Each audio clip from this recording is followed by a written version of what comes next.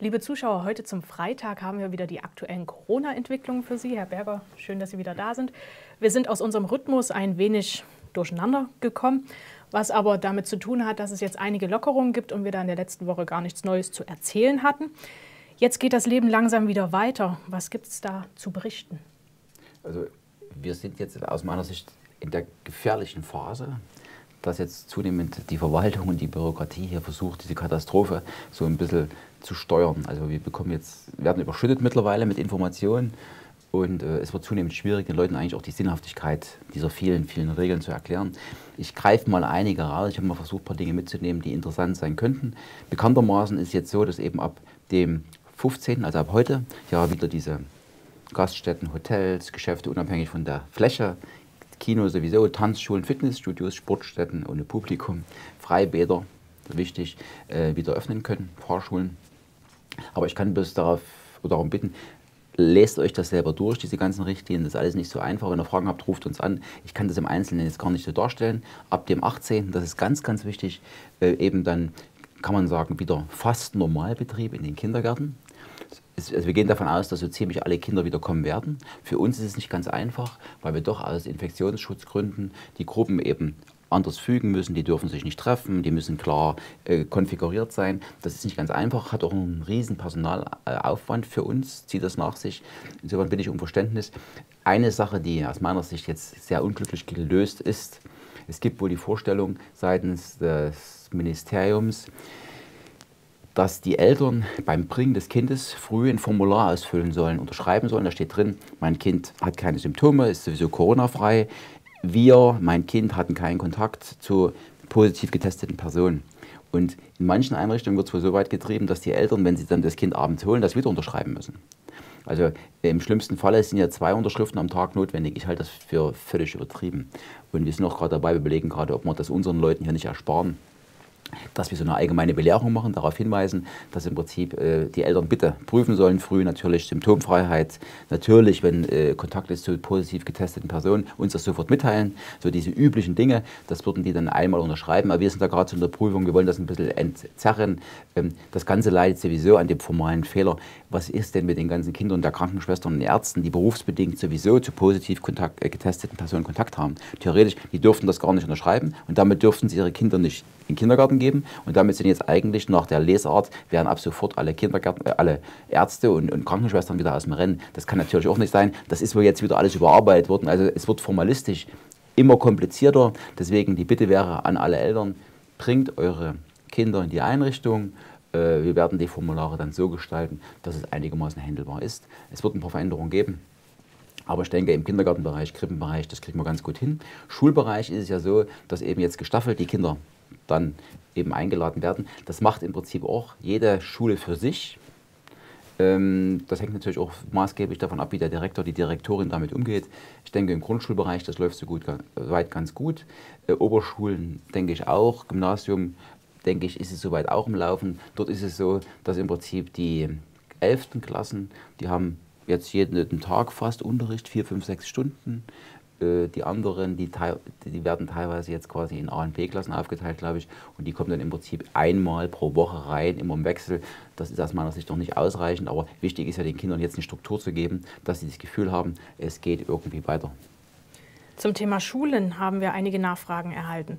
Zum Beispiel auf dem Hof, wo Abstand hm. vorhanden ist oder auf der Toilette muss Mundschutz getragen werden, im Zimmer nicht. Wie kann das sein? Also das, das legt jeder Direktor, jeder Lehrer aus meiner Sicht für sich fest, äh, diese ganzen Regeln, die, da gibt es viele Dinge, die keinen Sinn machen. Ich nehme gleich mal eine oft, oft gestellte Frage heraus. Zum Beispiel, ich kann jetzt äh, quasi in die Gaststätte gehen, mit meinen Verwandten wahrscheinlich dort essen und feiern, aber ich darf keine private Schulanfangsfeier machen. Das sind auch so Dinge, ich kann das auch nicht erklären, warum das so ist. Äh, aus meiner Sicht gilt eben, das hatte ich schon oft gesagt, der gesunde Menschenverstand, gewisse Distanz, hygienische Regeln einhalten. Ich kann viele Dinge, die uns hier auferlegt worden sind, auch nicht erklären. Es gibt noch weitere Nachfragen. Die Eltern sind da durchaus sehr besorgt. Das, seit einigen Wochen können die Schüler in Schulen ohne die tägliche Bescheinigung gehen. Jetzt ist es aber trotzdem notwendig. Was ist denn, wenn das Kind einen gebrochenen Arm hat und wo bleibt da der Datenschutz, wenn die Krankheit erklärt werden muss? Und was ist denn, wenn die Unterschrift auch mal vergessen wird? Wer trägt da die Verantwortung? Auch das ist so eine Grauzone. Ich denke, wegen einer äh, nicht geleisteten Unterschrift, wenn es da keine Indizien gibt, dass die bewusst verweigert wird, daran wird es sicher nicht scheitern. Ansonsten Datenschutz, ich kann jetzt die Situation konkret nicht äh, da, äh, beurteilen. Ich appelliere bloß an alle, wir sollten jetzt diese ganzen gesetzlichen Dinge auch nicht sinnlos ausreizen. Also wenn wir jetzt selber, wenn wir jetzt noch formalistisch werden als die, die die ganze Sache managen müssen, dann wird das Leben mit Sicherheit nicht einfacher. Familienfeiern haben Sie schon angesprochen. Was war da nochmal der aktuelle Stand? Eben, das ist nach wie vor, das, das sind ja die oft, ganz oft gestellten Fragen.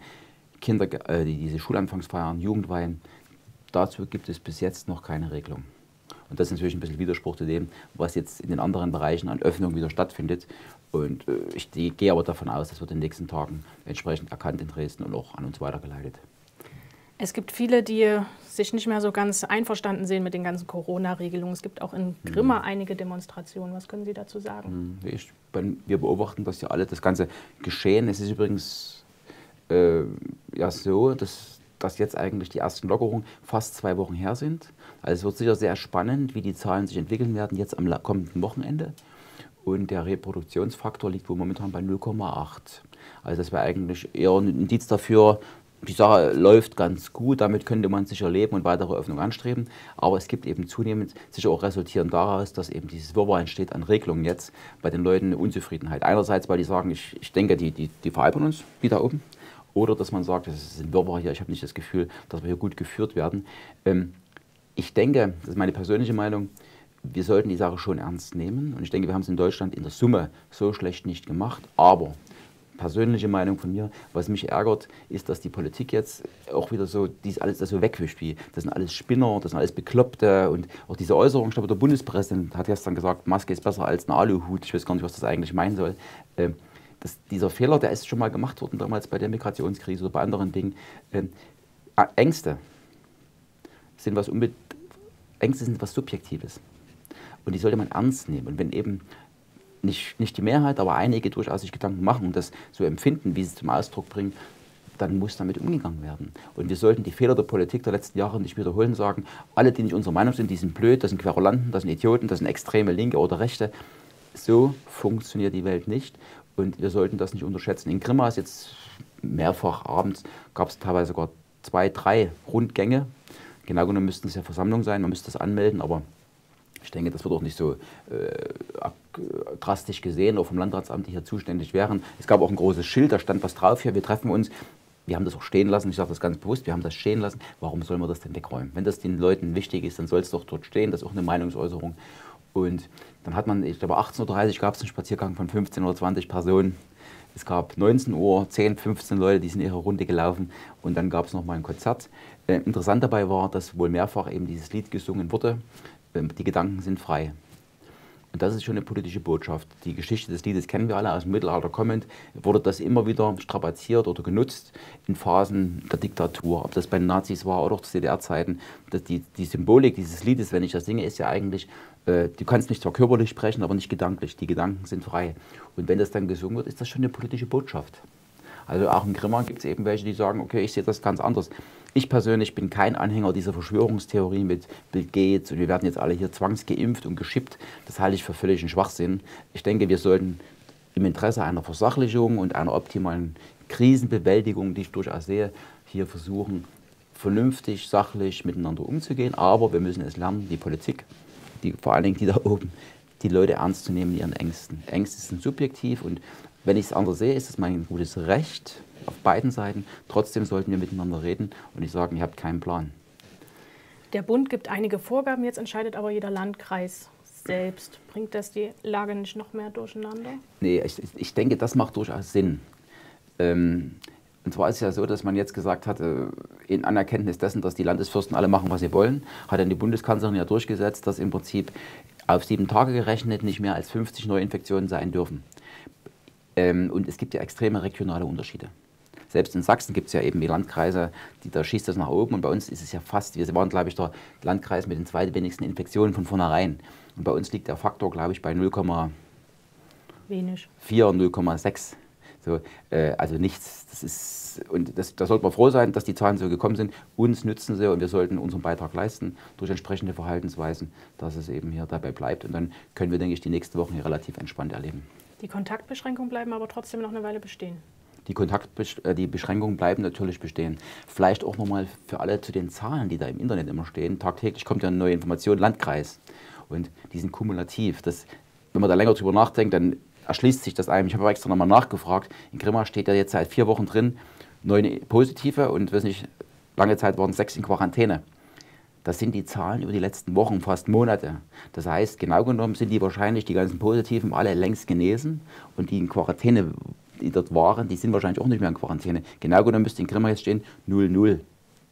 Ja, warum das so ist, keine Ahnung. Ich halte es eigentlich wenig für wenig aussagekräftig. Das Leben geht jetzt wieder weiter. Morgen zum Beispiel findet der frische Markt statt. Wie hat der sich angepasst an die Situation? Genau, also übrigens, da bin ich heilfroh. Das soll eigentlich ein Symbol sein, das Leben geht weiter. Und ähm, so soll es auch angenommen werden. Ich würde mich freuen, wenn viele kommen, aber es gelten wieder die 1,50 Meter. Wenn ihr einen Mundschutz habt, setzt den auf. Ich denke, das ist nicht zu viel verlangt. Und äh, wichtig ist, dass das Leben jetzt relativ schnell wieder mal normale Bahnen hier einnimmt und da sollte frischer Markt ein Beitrag dazu sein. Also wir sind wirklich dran, wir wollen jetzt so schnell wie möglich einfach weiterkommen. Wir überlegen auch mit der Schwimmhalle zum Beispiel, ähm, hoffen wir auf ein Signal und wir überlegen jetzt, ob wir die Schwimmhalle nicht diese üblichen Schließzeiten von sechs Wochen, die technisch bedingt sind, die straffen wir jetzt ein bisschen. Wir wollen eigentlich, dass die Schwimmhalle dann zur Verfügung steht. Also wenn es dann wieder losgeht, dass alle trainieren können und dass die Leute die Schwimmhalle nutzen können, zuzüglich zum Freibad. Auch das prüfen wir. Also wir wollen schon versuchen, das Leben ein bisschen nachzuholen, was uns hier entgangen ist. Zum Frischemarkt nochmal, der findet nicht wie gewohnt in der Klosterkirche statt, sondern auf dem Grimmer Markt. Damit haben wir alle Themen für heute abgehakt. Den Rhythmus der zweimal wöchentlichen Entwicklung heben wir jetzt auf und schauen immer aktuell, was es so zu berichten gibt. Also vermutlich vielleicht in der nächsten Woche nochmal, wenn nicht, mhm. dann nach Himmelfahrt. Und ja, damit verabschieden wir uns für heute und wünschen ein schönes Wochenende. Genau, und ich kann bloß anbieten, wenn Fragen sind, Grimmer, wir sind noch klein genug, dass wir das individuell machen können. Wenn Fragen sind, rufen Sie mich an, kommen Sie vorbei. Zurzeit ist bei uns wirklich, also hat es abgenommen mit den Fragen. Die Leute scheinen jetzt doch wieder so optimistisch nach vorne zu schauen, aber ich spiele es ausdrücklich an. Wir haben auch wieder offen, also wir haben ja die ganze Zeit offen gehabt, hatten das ein bisschen reglementiert, aber wir fahren jetzt langsam das auch wieder hoch, so je nachdem, wie die Situation das zulässt. Und ich hoffe, dass wir ja, vielleicht in acht Wochen dann doch wieder ein einigermaßen normales Leben haben werden. Und bleiben Sie gesund, schönes Wochenende. Wir sehen uns.